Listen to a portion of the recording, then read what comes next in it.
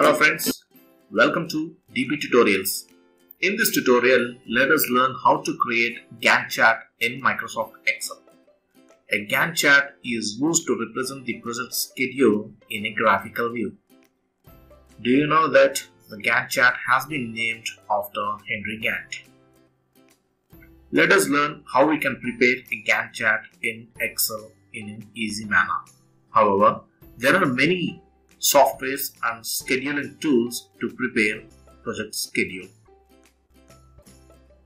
In this tutorial, we shall be using the stack chart to generate the Gantt chart and let us see how to do this now.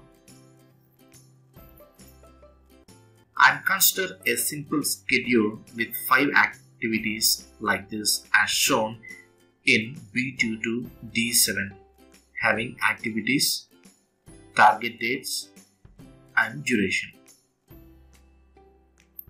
Select the entire data range B2 to D7 including the heading. Go to Insert tab from the menu bar.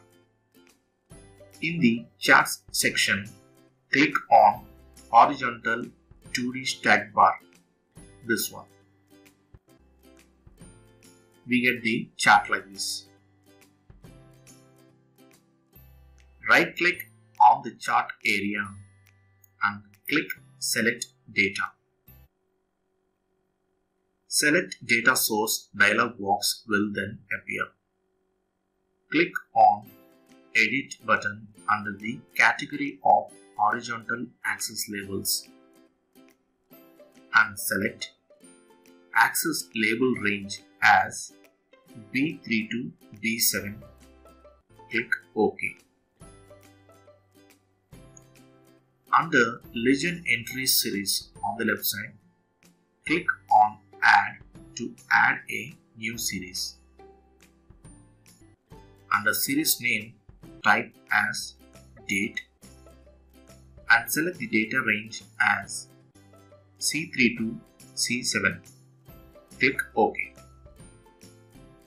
And now ensure date series should be on top click OK.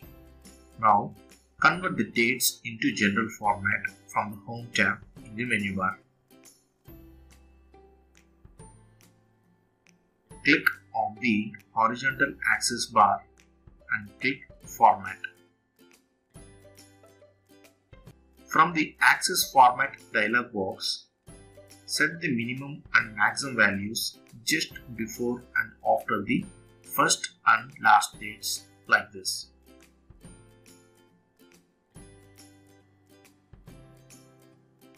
In the axis options at the bottom, under number, select date as the category format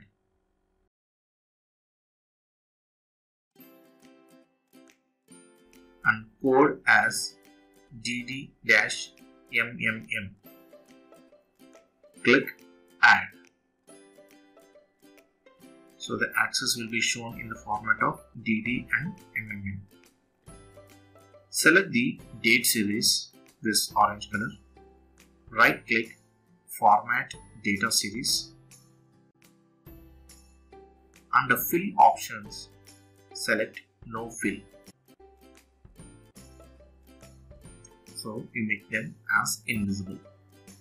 Now as a final step, select the vertical axis and click Format Axis. Under Axis Options, select the checkbox Categories in reverse order.